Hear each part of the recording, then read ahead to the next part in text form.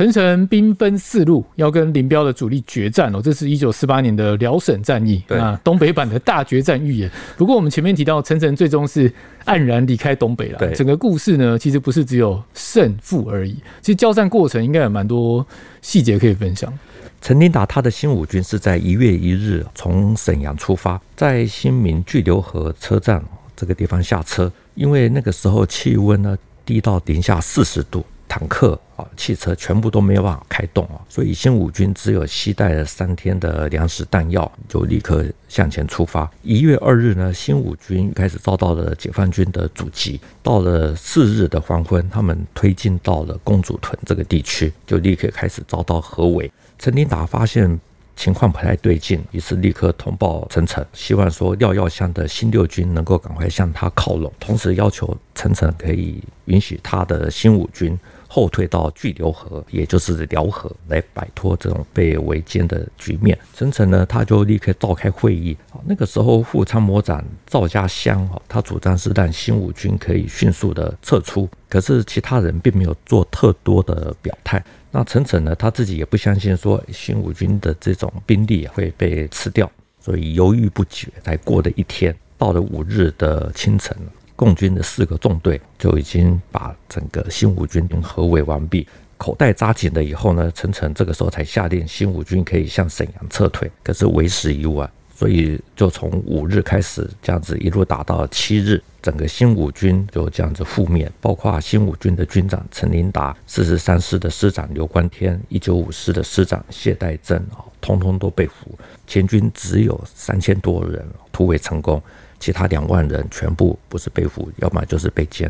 你说陈林达他们那边两万人覆没，只有三千人突围成功，是，真的很惨烈。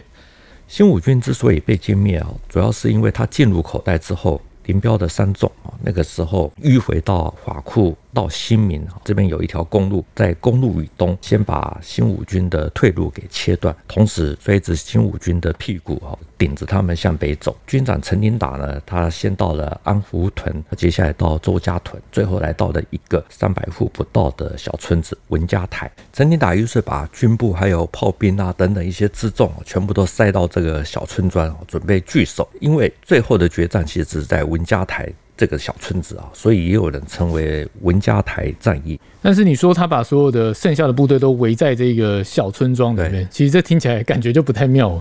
文家台的地形啊，它非常的辽阔宽阔，双方争夺的相当的惨烈。大陆有一套书是《星火燎原》啊，他有一篇文章是三纵一位战斗员写的，他说双方打到最后，陈林达还进行反突击。最后一天呢，也就是一月七日啊，天亮的时候，陈琳达他派了左路啊大概就是五个排，中路是两百多人组成的军官大队，右路是一个营，就是向前推进。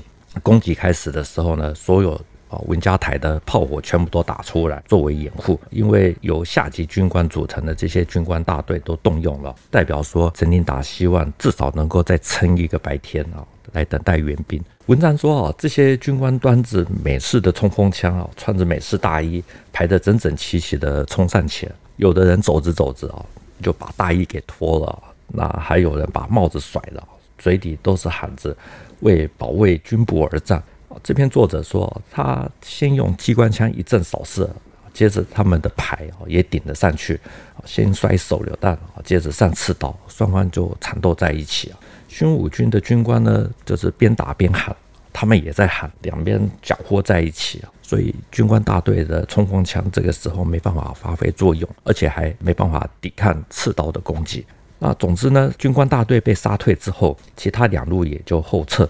这个时候呢，有好战分子之称的中伟啊，四野一个很有名的将领。他的二纵也到了，这个是四野的头等师。以后我们有机会可以讲一下，因为他后来参加过青树坪战役。那这个时候，另外呢还有炮兵也到了，所以整个解放军这边的计划是上午八点开始发动总攻。时间一到，他说看到了天空升起了三枚的红色信号弹，整个炮火就开始全部向文家台覆盖，然后接着就看到一阵阵的火焰冒起来。啊，新五军因为聚集的地区不大，都遭到的这种炮火覆盖性的打击之后，很快的就乱了，二纵、三纵、六纵、七纵就趁势打进去，快的就歼灭了新五军的军部。陈琳达变成了他黄埔四期的同学，他林彪的俘虏哦。那基本上这就叫国军这边就是要把他救出来嘛。那其实我们上一集有提到说。一个关键人物廖耀湘，有网友留言说廖耀湘救援不力，这是一个没有争议的说法吗？我们这边啊，用张勤官他血战余生的说法，那个时候是五十二军的团长，后来来到台湾，他出版过这本书啊，提到了公主屯战役。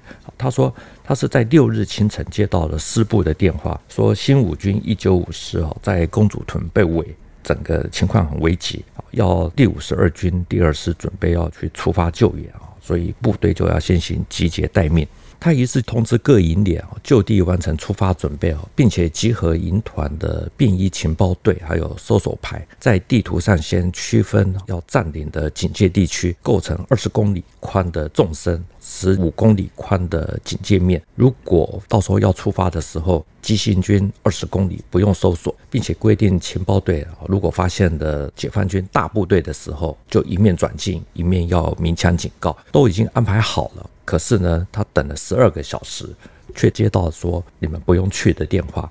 张清官就很有尬词的说：“我的情报队哦有报告说附近并没有任何的解放军的踪迹，请你们向行员报告，我可以保证这个情报是正确的。”结果电话那一端呢，还是说你们不用去。所以战清官他很感慨的说：“如果当时要他们出发的话，用急行军的速度啊，下午两点就可以到达公主屯地区。虽然不能够保证可以。”解围，可是因为我们和一九五师是血肉相连的弟兄，真心诚意的要进行内外夹击，至少可以使大部分的人员突围出来，绝对不会像廖耀湘兵团那样子见死不救，而看着新五军被歼灭，而且无动于衷。上一集刘玉章。有提到廖耀湘，然后这一集的张晴光也点到廖耀湘，所以实际情况真的是这样。他们都是五十二军，那个时候廖耀湘他的新六军呢，距离公主屯还有十公里的距离啊。台湾后来有出版过一本廖耀湘将军逝世十周年纪念专辑啊，主要是他之前的部署所写的。这里面提到公主屯战役啊，也做了一些的解释。根据远征军军史的专家邱中岳。将军他的说法，那个时候东北剿总他应该要与总预备队兵团的新一军或四十九军去救援，特别是那个时候距离新五军最近的是七十一军。结果呢，廖耀湘右兵团却被奉命啊要去救。我觉得这样有点混乱哦。七十一军那时候是刘安琪，是，然后这里又扯到四十九军，是。到底是谁要负责任？因为四十九军其实才刚到东北就遭到重打击啊，所以大概也无能为力。老实讲哦，这场战役之所以会打输啊，最主要还是行动缓慢。